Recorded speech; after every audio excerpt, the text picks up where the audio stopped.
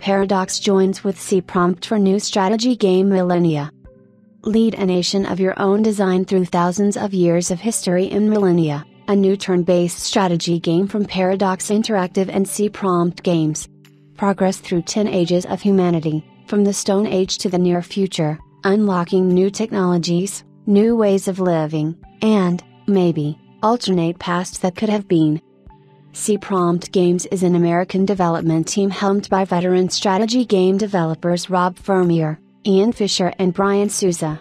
Motivated by a passion for deep and replayable systems driven games, they bring their experience working on many celebrated real time strategy games, including Age of Empires 2, Age of Mythology, and StarCraft 2, as well as Orcs Must Die, to the turn based 4X Space in Millennia, a game that pairs the familiar comforts of the genre with fresh new gameplay to enable players to write their own stories of the past.